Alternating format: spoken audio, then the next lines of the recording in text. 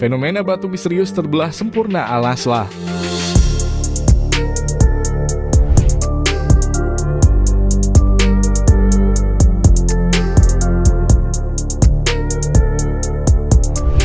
Sebuah formasi batuan di Arab Saudi merupakan sebuah fenomena alam yang masih menyimpan misteri hingga saat ini.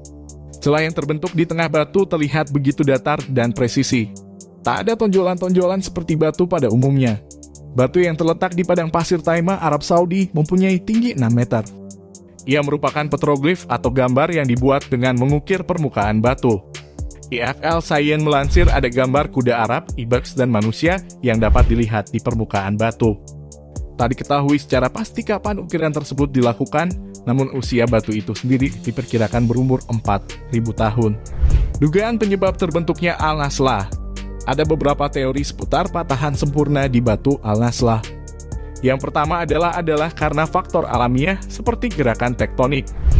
Beberapa ahli geologi percaya jika kerak bumi hanya bergeser sedikit sehingga dapat membelah Al-Naslah menjadi dua.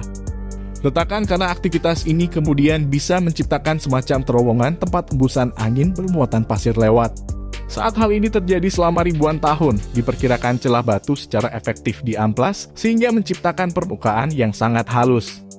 Dugaan lain, batu tersebut terbelah sempurna karena join atau kekar, yang dalam geologi berarti patahan yang terbentuk secara alami di dalam batuan tanpa adanya perpindahan.